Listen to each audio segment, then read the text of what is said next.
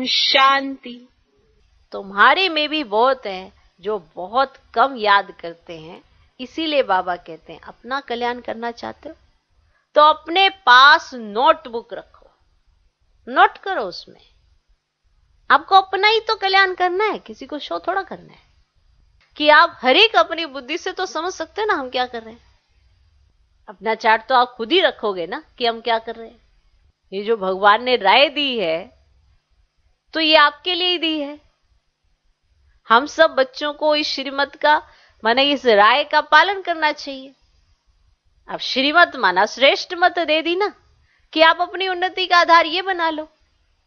आप खुद अपने आप को देख सकते हो कि हमारी बुद्धि भी कहाँ तक है। इसके लिए बाबा ने उदाहरण दिया। किसी का देवाला निकलता है, भक्त, आत्मा, लोग उसको समझते अब तो ये भक्त आत्मा अब ये ठगी नहीं करेगी तो लोग उसके साथ व्यवहार करने लग जाते हैं, फिर उसकी वृद्धि हो जाए, फिर वो धनवान बन जाता है। लेकिन अंदर तो उसे पता होता ना कि मैंने क्या किया है। तो ऐसे आपको भी अपना तो पता होना चाहिए कि हम कितना याद की यात्रा कर रहे हैं। दूसरों को खुश करने के लिए थोड़ा करना है। आपको अपना चार्ट स्वयं के लिए रखना है, अपनी उन्नति करनी है। माना अगर आपको सजाएँ खानी पड़ती हैं बार बार क्योंकि आप श्रीमत का पालन नहीं करते तो आपको बार बार सजाएँ खानी पड़ती हैं। श्रीमत में मन मत ऐड करते जाते हैं, इसीलिए सजा खानी पड़ती है। और कुछ नहीं है। तो मोचरा जो नहीं खाएँगे तो पद अच्छा मिलेगा। मोचरा खाकर फिर कुछ थोड़ा बहुत पद पाना वे क्या काम का? धर्मराज का मोचरा ना खाएँ। बेजती ना हो, यह पुरुषार्थ करना। कि हमको धर्मराज का मोचरा ना खाना पड़े। हमारी बेजती नहीं होनी चाहिए। ऐसा पुरुषार्थ करना है है ना? अभी आपको पुरुषार्थ कितना करना चाहिए अपने ऊपर? आपको सबको पता है कि मैं क्या कर रहा हूँ। मैं किस तरह की सोच, सोचता हूँ? मैं आत्मा क्या सोचती हूँ, क्या नहीं सोचना चाहिए? सबको पता है। कोई सोचे, मुझे पता ही नहीं लगता मैं क्या सोचता रहता हूँ, मैं क्या सोचती रहती हूँ।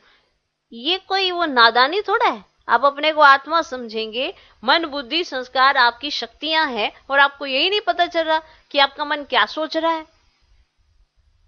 खाने के समय कभी भी इम्प्योर चीज़ को इमर्ज करते हो? करते हो? नहीं करते। क्यों नहीं करते भाई? जब खाना खा रहे होते हो तो इम्प्योर चीज़ को इमर्ज करते हो कभी? खाने पर ही कंसंट्रेट माना कंसंट्रेशन तो है सबके पास। वो बात अलग है कि कहाँ यूज़ करते हैं, कहाँ नहीं यूज़ करते। अपनी कंसंट्रेशन को खुद ही भंग करते रहते हैं। सोचते हैं हमें एकाग्रता बढ़ानी है बढ़ानी है, सबके पास होती है। ये आत्मा के पास शक्तियाँ ऑलरेडी होती हैं। अब वो कहाँ लगाता है, कहाँ नहीं लगाता? मान लो दो व्यक्ति बात कर रहे हैं, आप तीसरे जाते हो, आपकी बड़ी उत्सुकता होती है, उत्कंठा होती है कि क्या बात कर रहे हैं? थोड़ी दूरी भी होगी तो सुनने का प्रयास करेंगे। माना अब वहाँ पे आपने एकाग्रता की शक्ति का कितना ज़बरदस्त अभ्यास किया है।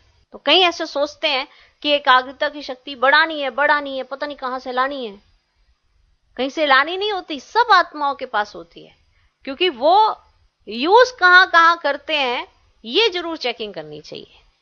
हर एक्टिविटी में आप देख सकते हो। आप कोई कोई ड्रामा देखते हो, कुछ भी देखते हो, एकदम याद हो जाता है। क्योंकि वो जैसे ही देखते हैं अपने बुद्धि में, अपनी बुद्धि को वहीं फिक्स कर देते हैं, उनके साथ जीने लगते हैं। अब आप बताओ, ऐसे ही होता है कि नहीं होता? तो एकाग्रता भी सबके पास है, और चॉइस भी सबके पास होती है कि अपनी बुद्धि को ज़्यादा कहाँ लगाना है। कहते कि हमारा ना मन टिकता नहीं है, बाबा की याद नहीं आती है। तो कुछ कहीं तो जाती है ना मन बुद्धि। अब जहाँ जाती है, वहाँ आपका इंटरेस्ट होता है, इसीलिए वो चली जाती है। इसलिए बैठे हैं भगवान के साथ और याद ही नहीं टिकती है। नींद का प्रभाव इतना रहता है, क्योंकि आप भगवान के साथ तो बैठे ही नहीं। अब तो बातों के साथ बैठे हो, या किसी और चिंतन में बैठे हो तो आपको नींद तो आएगी आएगी। माना हम अपने आप को इतना इंटेलिजेंट समझ लेते हैं कि उसके बीच में बाबा ने इतनी उसकी गहरी बात कही होती है, उस पर विचार ही नहीं करते। और जब विचार ही नहीं करते हैं तो बताओ, फिर बुद्धि कहाँ से टिकेगी? तो अपने आप को हमेशा ऐसे ही समझना चाहिए ना कि मैं भगवान के सामने हूँ, भगवान मेरे सामने है। तो पिछाड़ी में थोड़ा रोटी टुक्कड़ मिला, उससे क्या फ़ायदा? मोचरा तो नहीं खाना चाहिए। अब ये अपने आप के साथ प्रण करना, मुझे मोचरा नहीं खाना है। अब मोचरा नहीं खाना है तो उसके लिए अपने को अलर्ट रखना चाहिए, श्रीमद का पालन करना चाहिए, जो राय सलाह भगवान देता है, उसको पालन करना चाहिए। ओम शांति।